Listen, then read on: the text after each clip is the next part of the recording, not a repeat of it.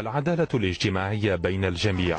إحدى أهم النقاط التي طرحها المترشح للرئاسة الباجي قائد السبسي خلال زيارته لمعتمدية النفيضة. السياسة اللي إحنا ماشيين فيها تاع عدالة اجتماعية. وإن شاء الله معناها كل واحد يلقى حظه في تونس. وقت اللي تونس أيضا تلقى حظها وتتطور وتنمو. لكن الآن ما عندناش تنمية ما عندناش تنمية. وقال سبسي إن البلاد تمر بمرحلة صعبة ودعا إلى التضامن بين الجميع خدمة لمصلحة الوطن. تونس أيضا زاد بصعوبة كبيرة ولكن إحنا نحب أن الصعوبة تتوزع على الناس الكل مش كان على الخدام. عندنا برشا بطالة عندنا فقر في بعض الجهات عندنا تهميش. هذا الكل يلزمنا نتناولوه وإن شاء الله رب ربي يوفقنا ولكن نجم ننجحوا فيه وقت اللي الناس الكل تكون متضامنة مع بعضها.